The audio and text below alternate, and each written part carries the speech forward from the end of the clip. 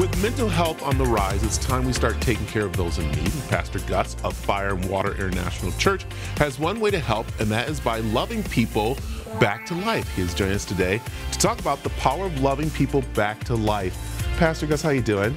Great. Thank you for having me. And um, and also, I just want to say to the AZTV family over the years for all the support and for helping us get the message of hope um, out to the great state of Arizona. Yeah, and right now, we need it more than anything. We yes. have recession going on, we have unemployment, we have people who are still recovering from the pandemic, and we're noticing that people have lost love and giving love and support to people back. Yes, eh, you know, I'm a byproduct. Uh, um, about seven, eight years ago, um, uh, I, I, was at a point where I was done. I was checking out. Yeah, it was over. Um, I was so um, so much was going on in my life, and um, I was um, just ready to give up. At that time, Sheila, who's my wife now, God brought her into my life to speak life into me. Um, literally, she loved me back to life. Yeah. Uh, she did not speak the obvious of what I was going through, but she spoke um, my future, the potential, um, uh, my purpose, my destiny.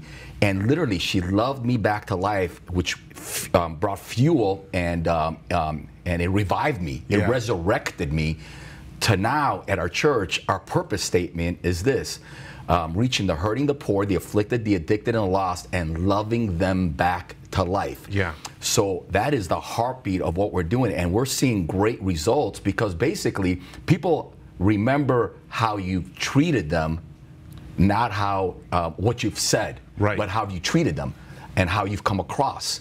Um, and then if you treat them with you know with love, uh, uh, they'll remember what you have to say. Yeah which is important. But one thing I, I, love that you said in your notes, it's about, of course, not judging people. Uh, the past, the past, and going it, forward. If you're seeing that they are going forward, don't bring up the past. I'm so Love happy. them going forward. That, that's right. You, you, know what? It's not the way you start, it's the way you finish. Great champions aren't defined by the way they start something. Great champions are defined by the way they finish something.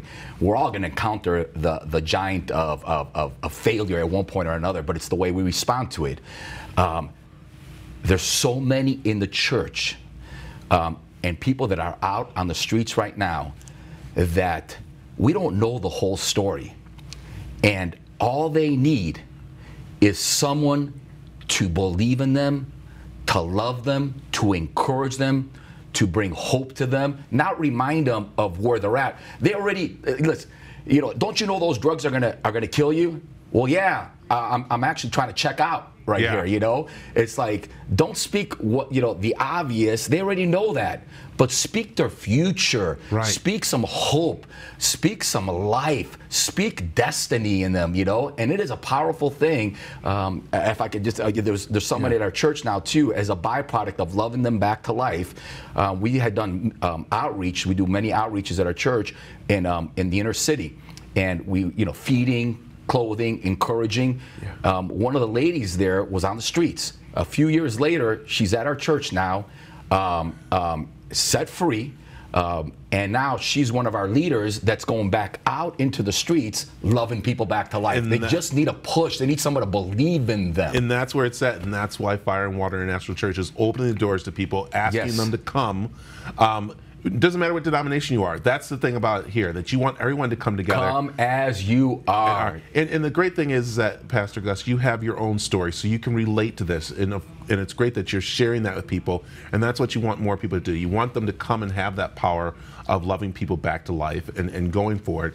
So yes. um, we know you have services, but you have open doors all the time, don't yes, you? Yes, we do. Um, um, you know, throughout the week, you know, we have Saturday, Sunday, Wednesday, Monday, um, outreaches on Friday. The doors are open to everyone, um, and um, it doesn't matter what the back. It doesn't matter. Like I always say, it doesn't matter where you're at right now. You know Um, um, that we the the trauma center is open and it's ready to go. And it's open to it everyone.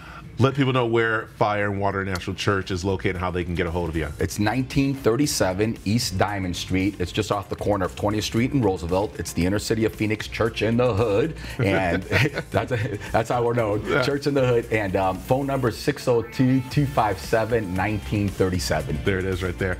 Pastor Gus, thanks for coming and thanks for being Thank so you. passionate about Thank this. You. And again, uh, we're passionate about making sure people are taking care of the community. So please uh, watch Pastor Gus and, and, of course, go hear his message. So thank you very much, Pastor. Thank you. All right, come on back. We got more mix right after this.